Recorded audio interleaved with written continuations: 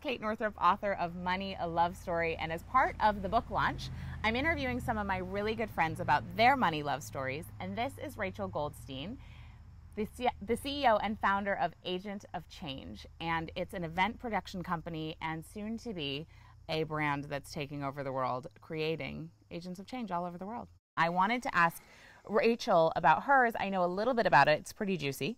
Um, because the more we talk about money, the more consciousness and love we can bring to it. And money is a conversation where I think people either don't talk about about it enough or don't talk about it honestly enough. Right.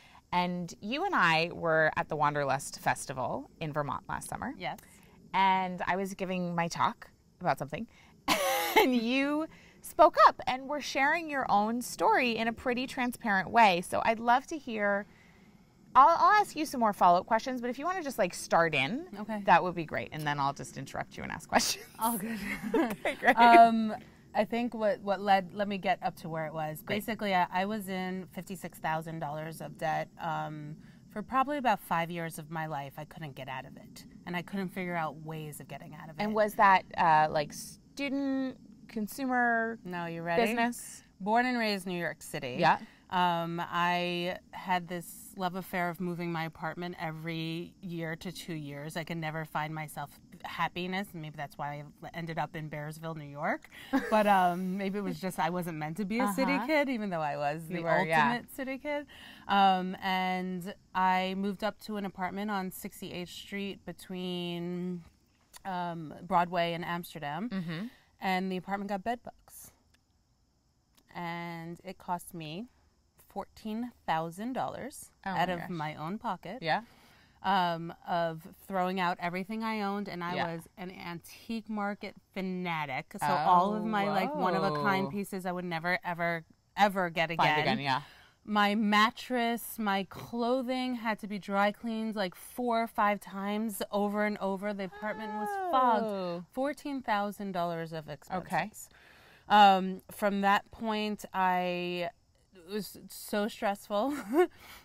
and prior to that, I had also had some a lot of dental work without dental insurance. Okay. That was twenty five thousand dollars of expenses. Uh-huh. Twenty six thousand dollars of dental work. Your teeth are gorgeous. Thank you. Um, and again, n- nothing was taking that. I had broken Uh-huh. three or four teeth from grinding, and I had TMJ, all these other Yeah. problems, and it just made um, a big fat Big dent bill. in my life. And then the, the other 20, I mean, like, what New Yorker isn't in debt? Yeah.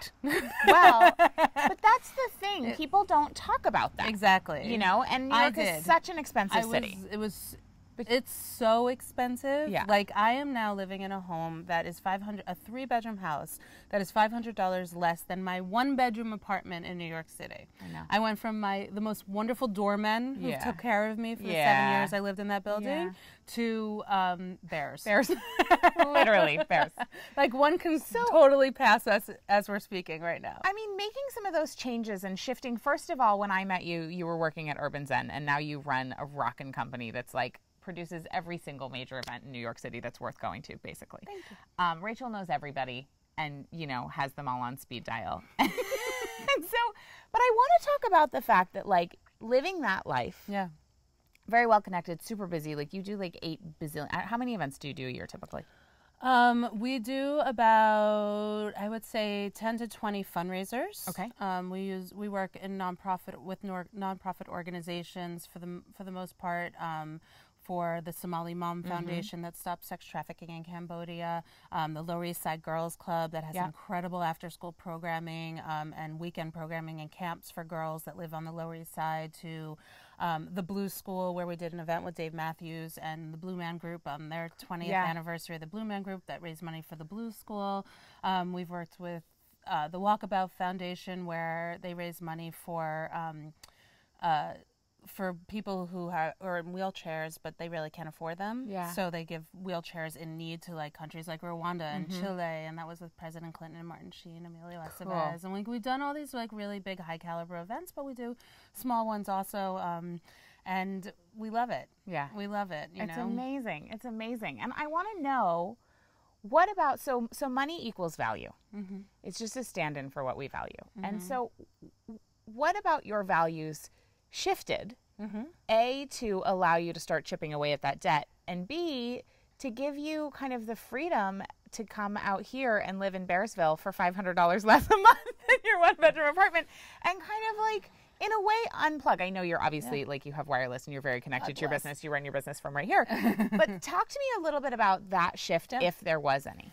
Uh, it was a huge shift. Um, I went from working um, for Donna Karan's Urban Zen Foundation, and you know she was this incredible, beautiful visionary of of helping advance wellness, um, preservation of cultures, and empowering children. I was producing all these incredible, high profile events, speaker series, galas, all kinds of stuff in the Stephan Weiss studio, aka Urban Zen.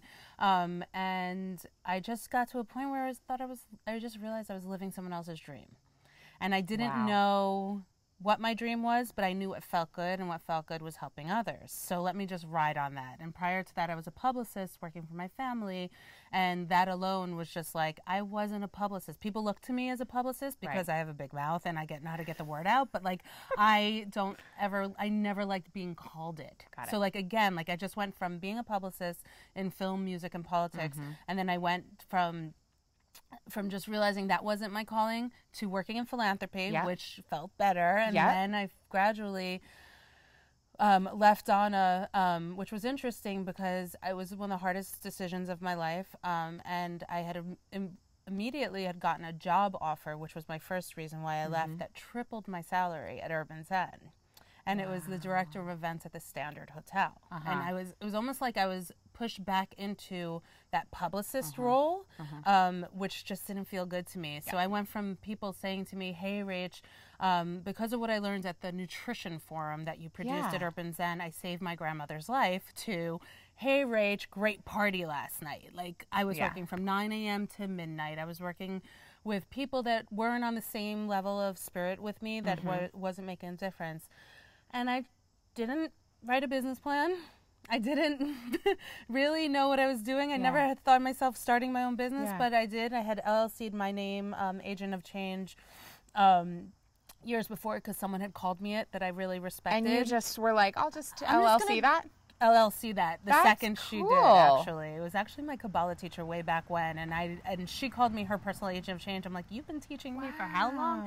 And so long That's interesting. story. I mean, because just like forming an LLC is not, you know, it's not like buying a URL, No. right? Like that costs twelve dollars and Right. takes two seconds. So Right. It's interesting that you had that intuition or Definitely. whatever you want to call it to be like, the name I'm was like make an LLC of that. name. Okay. I was like that works. So that happened years coined. ago. That was in 2007. I, I LLC'd it just knowing that one day I was going to use it.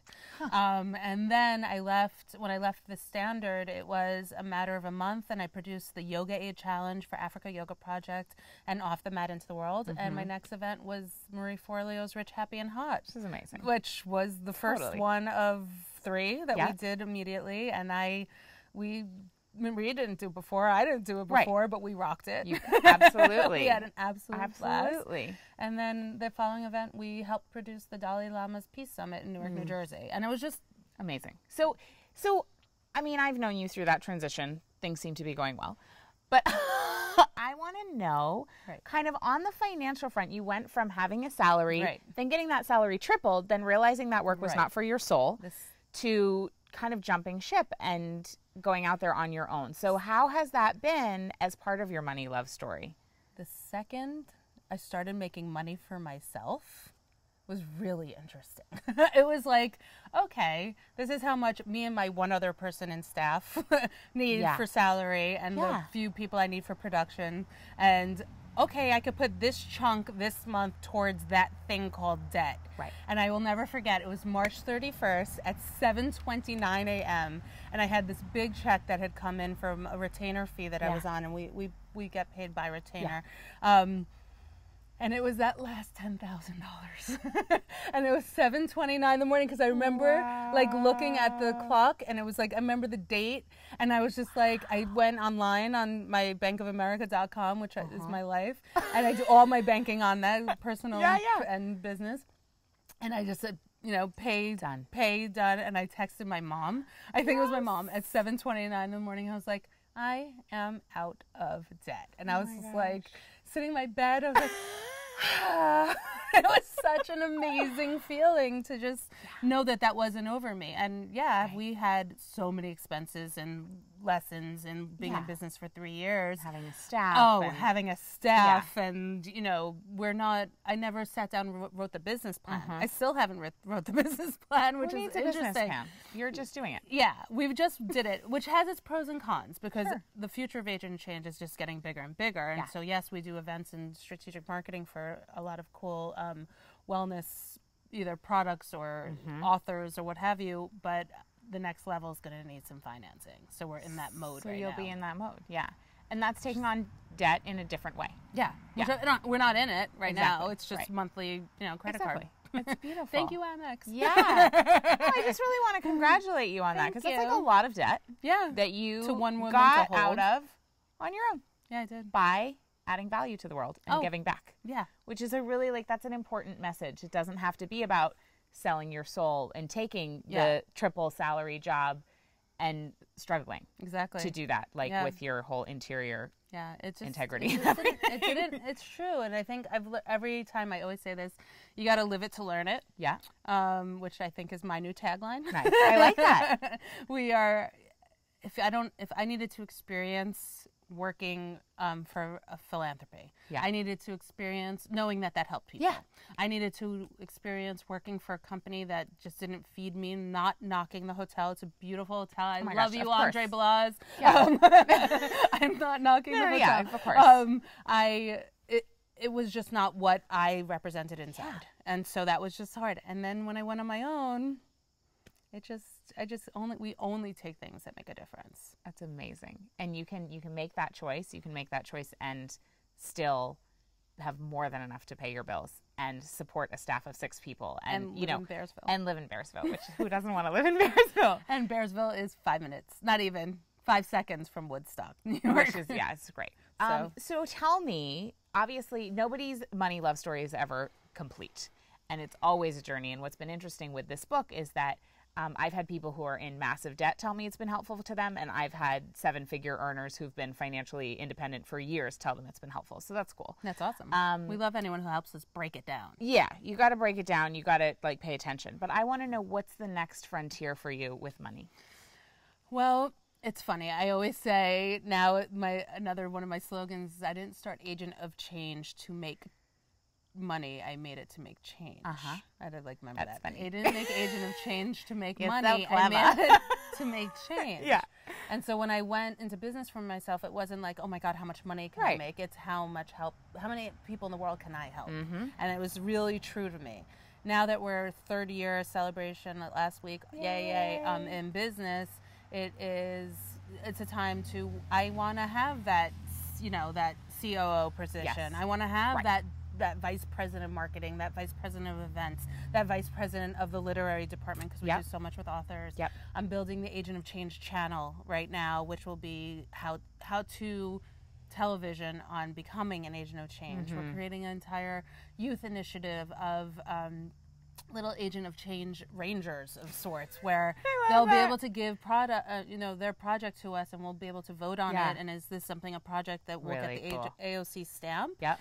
of approval and we'll be able to help them build their Yeah. dreams up. And so it's like creating this network. It's a network of agents of change, and really, so money and growth for you financially is about how many people you can help. Yep. Yeah. Yeah. Beautiful. That's so great. That's where it That starts. so great. Thank you. And I know we'll make it. Oh yeah. you already are. Yeah. The books, everything else will come. Yeah. I keep, that's why I keep saying I'm like I'm I'm living it. I'm You still are. living what I'm going to write.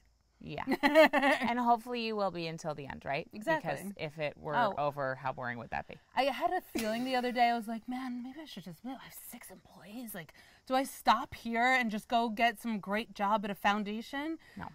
Can't. Oh my God! that. Don't ever do that. I'd have to I wanna- like come up here I and have have, an a after smack 50. I have. I have an after 50 plan. Oh, what is it? Summer camp You want to run a summer camp? that raises little agents of change. Oh my God, that's amazing. Wouldn't that be You should so do it in fun? Bearsville. In Bearsville, New York. but wouldn't that be awesome? that would be Like, let's give them their money I know. lessons. Let's give them their vegan cooking. Let's Totally. give them. Let's just get all Our my kids friends will be too old, but be the maybe they could be counselors. I know. I'm like, I'm like calculating. I'm like, could my kid? No, it'll be two. No, it's not gonna work. But thank you so much for sharing Thank your you story. I really you appreciate it. Yeah. And if you want to hear more money love stories, go to moneyalovestory.com. If you want to find out more about Rachel, go to agentofchange.com. No, it's agentofchangenetwork.com. Thank you. Agentofchangenetwork.com, and the link is below the video. and um, when you grab yourself a copy of this book over at moneyalovestory.com, you'll get free access to a two hour live event I'm doing called A Course in Having Enough, which Rachel has obviously figured out. and I'll be co teaching that with Marianne Williamson, Barbara Stanny, and Amanda Steinberg, who founded dailyworth.com. So go check out moneyalovestory.com, go check out agentofchangenetwork.com and see if you can find yourself at one of the amazing events that Rachel puts on. Thank you for sharing your Thank money love you. story. I Thank so you, appreciate Kate. it.